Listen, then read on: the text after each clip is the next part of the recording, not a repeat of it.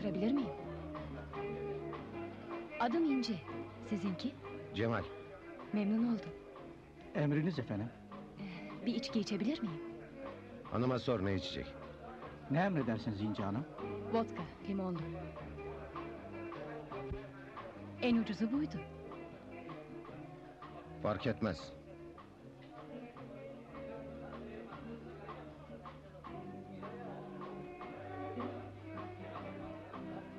Niye öyle bakıyorsun? Söylesem inanmazsın.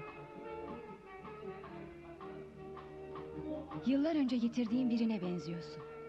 Sevdiğim çocuktu. Seni görünce onu hatırladım.